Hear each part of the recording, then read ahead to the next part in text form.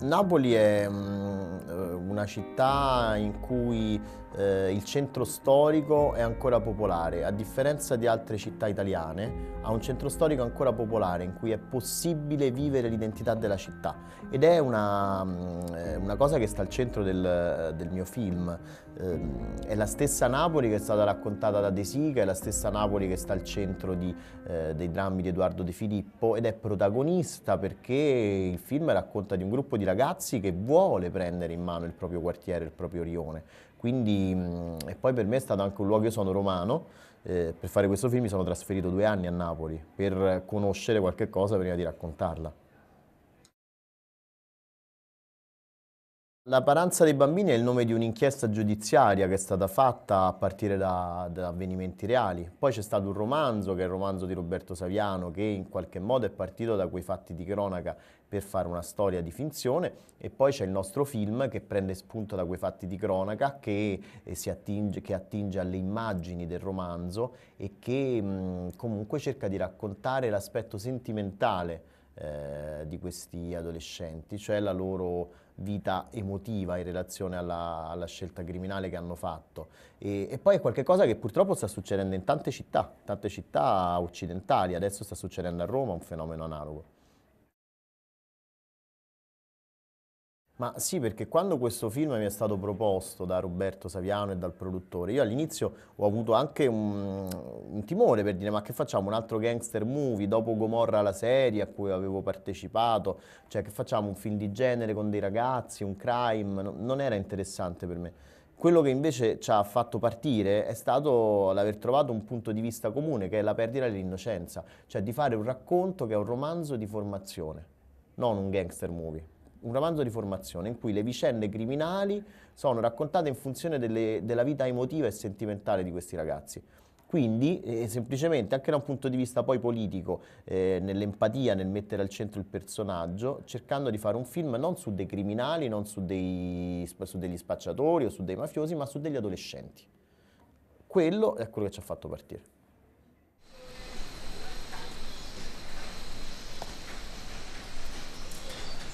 Tu l'aimes ton scooter décoré comme ça Maintenant, il s'envole. Qu'est-ce que tu voulais me dire? Je veux sortir avec toi. Mais on se connaît même pas. Justement, je veux mieux te connaître. Qu'est-ce que tu veux faire? Vendredi, je t'invite à sortir. Où est-ce que tu veux m'emmener? Bah ça, c'est une surprise. je te dis rien. Peut-être, faut qu'on voit. Qu'on voit quoi? Si j'ai un truc de prévu. Comment ça? T'as quoi de prévu? J'en sais rien, il faut que je vois. Tu dois sortir ou quoi? J'en sais rien. T'as qu'un truc de prévu vendredi. Sortir avec moi et basta. Tiens. J'en fais quoi Fais le volet.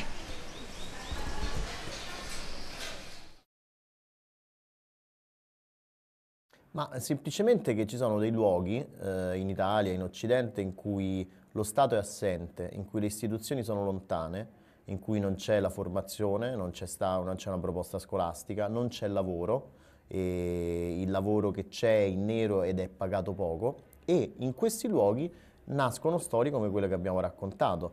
Eh, c'è un sistema alternativo che prende il posto eh, che, che, che, subentra nell'assenza dello Stato e in cui si fa carriera. E questo è quello che, che, succede, per questo si ha questa impressione di naturalezza, perché è un contesto in cui quella è la, la realtà la realtà che viene di questi ragazzi che prima sono eh, al di fuori di un sistema che conoscono, poi entrano come se fosse un gioco e poi non possono più uscirne. Un'altra cosa che mm, è stata al centro del ragionamento che abbiamo fatto con Roberto Saviano, con Braucci, è stato proprio raccontare questi ragazzi eh, in, funzione, in base ai loro desideri. Questi desideri sono desideri identici ai desideri dei nostri figli, ai desideri dei nostri fratelli, cioè loro desiderano degli oggetti costosi, de, delle moto, degli orologi, il tavolo in discoteca, hanno bisogno di soldi per ottenerli, li vogliono ottenere subito e la scelta criminale è un modo per ottenerli immediatamente. E questo in qualche modo è il punto di partenza, che li rende identici agli adolescenti anche del, de, de, delle altre classi sociali, insomma, degli adolescenti anche delle famiglie buone il desiderio per gli oggetti, l'oggetto come eh, eh, al centro, come nuovo valore e questa cosa li accomuna al, al resto. Quello che mh, rende differente il protagonista è il suo idealismo, Cioè lui ha un'idea di giustizia, un'idea di giustizia illusoria, l'illusione di un quindicenne che vuole fare il bene attraverso il male, vuole liberare il quartiere, vuole portare giustizia nel quartiere, ma è un paradosso perché non, puoi, non esiste una camorra etica, non puoi fare il bene attraverso il male. Ouais, c'est celle-là qui était sur la publicité que j'ai vue. Ça, c'est les nouvelles Nike. Quoi? 180 euros? C'est ça, Et 180. celle-là? Pareil, 180. Excuse-moi, c'est des vrais? Ah oui, c'est pas l'imitation. Tu nous prends pour qui? Moi, il me faut un t-shirt. Évitez de déplier les t-shirts. Ah, c'est le délire, ce magasin. Nico? T'aimes bien? Ouais, sympa la chemise. Ouais, mais combien elle coûte? Elles sont géantes, les baskets, là-bas. Dis donc, tu te crois où? T'es pas chez toi ici, descends de là. Putain, t'es relou. Il est violent ce t-shirt. Ouah, magnifique. Biscottine Regarde ce t-shirt comme il est mortel. Tu le remets en place après. Regarde. La bombe, frangin. Je vais essayer Combien ce t-shirt Celui-là, 200 euros. Quoi Ça 200 suffit, euros C'est bon, là. Ne pose pas n'importe où. Je m'achèterais bien ce mortel. Regarde cette veste. T'aimes bien Elle est classe, regarde. Ah, comment je la kiffe cette veste. Combien t'en as essayé Regarde, elles sont belles. Eh, Donne-moi ça. ouais. Ça suffit, donne. Allez. Tu sors du magasin, allez. C'est bon, Tu sors d'ici, dépêche-toi. Pose ça, toi. Vous sortez tous d'ici, allez. Bah, pourquoi On a rien fait. sortez. Chez nous, on est Oh, Allez, oh, ça oh, suffit comme ça.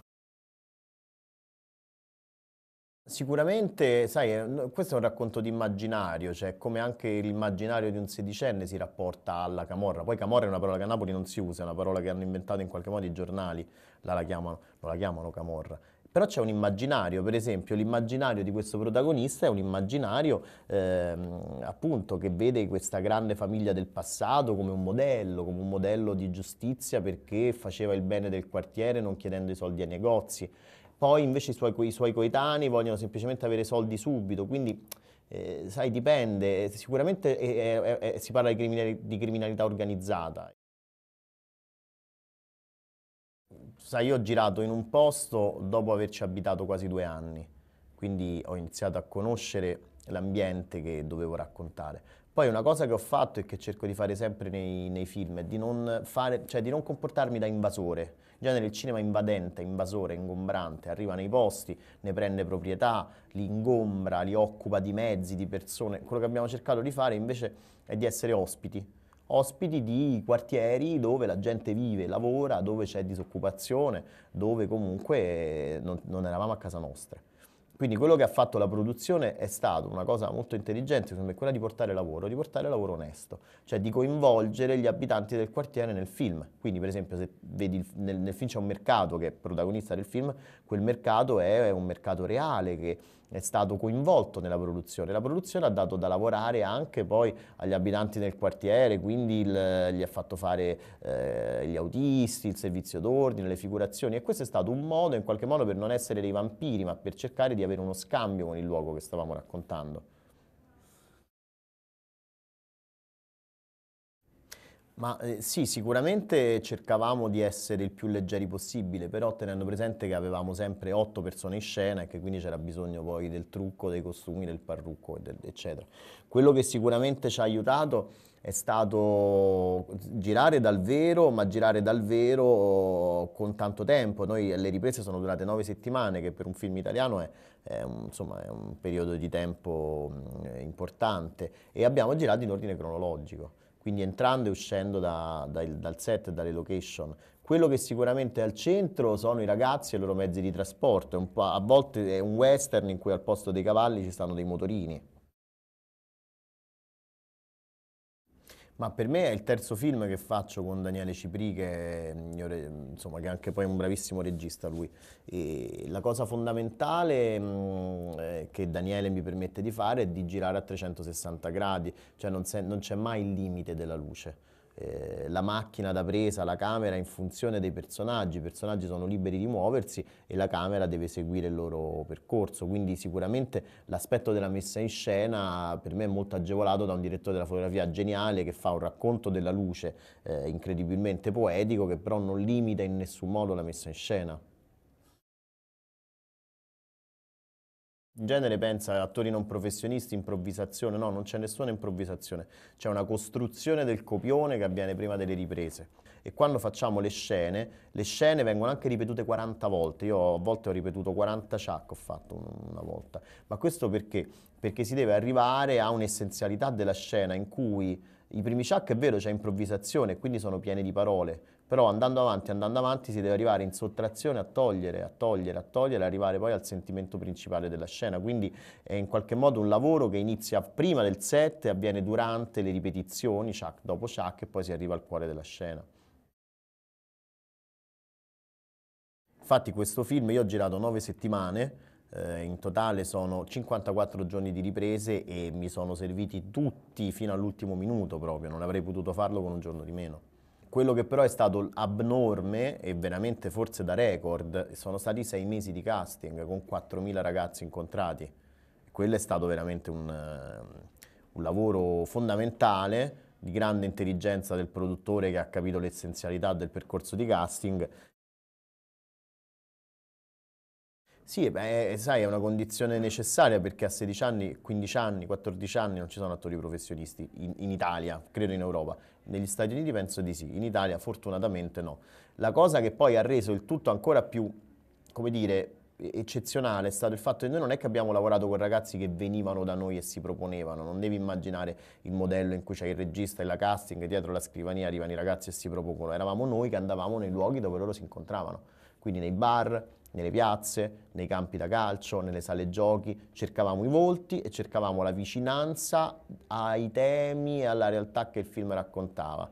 Però questi ragazzi qui che recitano il film non solo non hanno mai recitato, ma neanche volevano fare gli attori. Ma il mio incubo era appunto non fare un film di gangster, cioè non fare una, evitare che i ragazzi si rappresentassero come criminali facendo la parodia delle serie che avevano visto, ma cercare di mettere al centro, di fare in modo che l'empatia che avevo io con loro fosse la stessa che poi doveva avere il pubblico.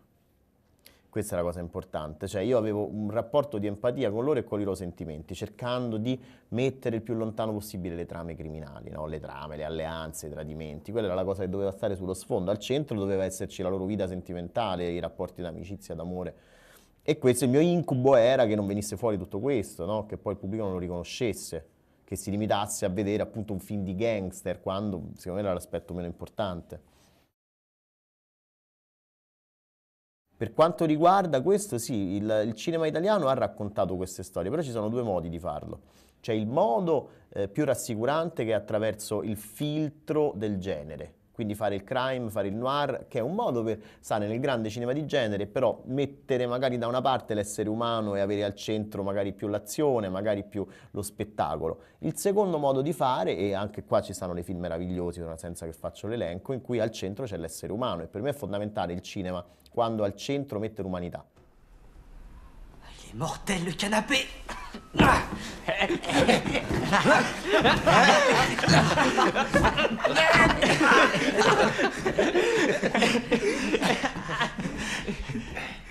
Eh les frères, on se fait un selfie. Bouge ta tête.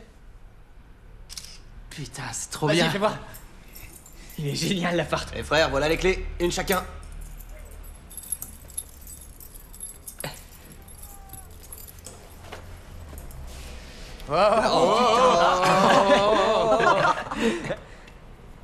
Fais voir. Eh, Eh, nous alors faites gaffe avec ça. À moi. Putain, t'abuses. Eh, déconnez pas pas. passe-le. Oh, passe-le. Frère, passe ça. Montre, vas-y.